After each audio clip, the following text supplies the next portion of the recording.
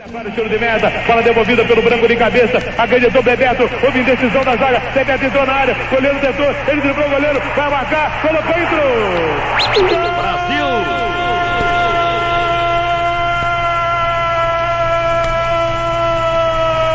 do Brasil! Brasil!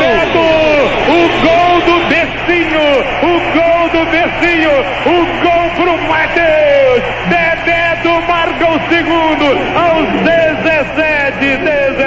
17. Brasil 2, Holanda 0. Valeu, valeu, Denis! Que mais da conta, garotinho!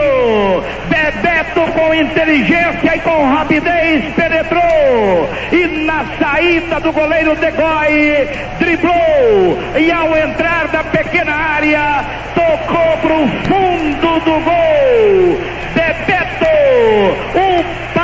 Do Matheus. E depois com Romário e com Mazinho, eles foram comemorar o gol do Bercinho.